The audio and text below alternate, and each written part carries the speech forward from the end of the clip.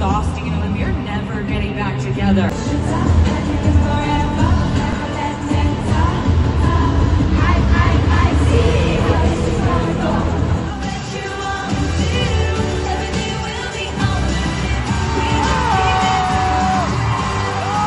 Travis makes surprise visit to Singapore for Taylor Swift's concert despite busy schedule.